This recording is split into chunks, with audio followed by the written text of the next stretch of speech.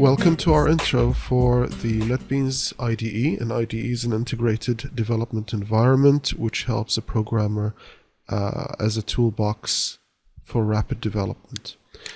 You'll be uh, presented with this screen when you first run NetBeans. I'm going to maximize this and start our first project. One of the features in NetBeans is that it helps you organize your files into projects. It comes up by default with a Java category, which is what we want, a Java application. So we'll just click Next and head to the screen where we input the name of our project. I'm going to give it a, uh, a, a name of Hello World App. and I will put the project in my projects folder, which is on my flash drive. That's an iDrive where I've created a Java folder where all my projects will reside. And as you can see in the uh, next field here, Java uh, NetBeans will automatically create the subfolder Hello World app. I'll also change the class instead of being called main. I'll give it the Hello World app class. And that should take care of my basic settings for this project. I'm going to click on finish.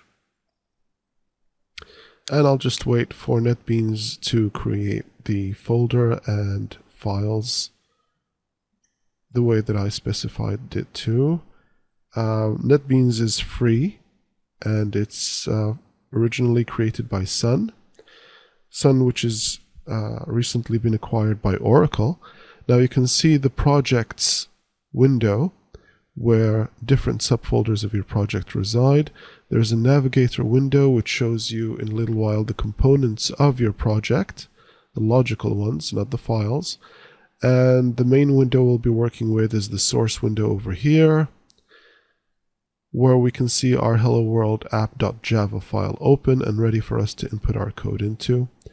Any testing we do will show its results down in the tasks window over here. Next, we're going to be adding some code. In the source code window, now remember we've chosen a template, so some code was already added. Over here we can see a comment that's been added for us.